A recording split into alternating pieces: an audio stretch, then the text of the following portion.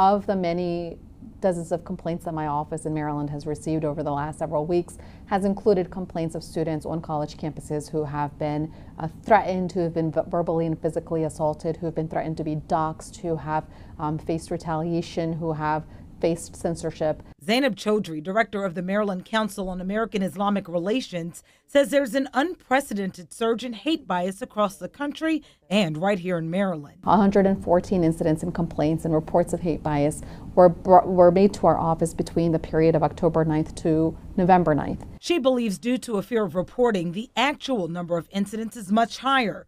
While a spotlight has been placed on eliminating Hamas, Chaudhry fears there's a loss of humanity for innocent Palestinians. And there's a sense of, well, we need to root out and eliminate Hamas, right? If you have a school shooter inside of a building and you're trying to eliminate the school shooter, you don't bomb the school, right? You don't eradicate all the children in that school to get rid of the school shooter. To address fear and anxiety among Muslim communities, CAIR is offering self defense workshops and bystander intervention trainings beginning this weekend. Especially now and after the tragedy in Vermont, we want students to feel that they can take ownership of their safety to some degree.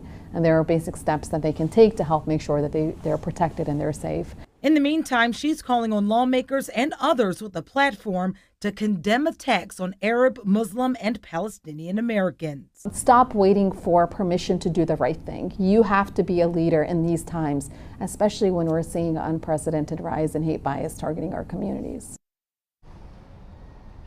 CAIR is hoping to to have these trainings at as many mosques, high schools, and colleges as necessary to help students feel secure and uh, empowered to protect themselves in the community. Live from the Inner Harbor, I'm Janine Donaldson for WBAL TV 11 News.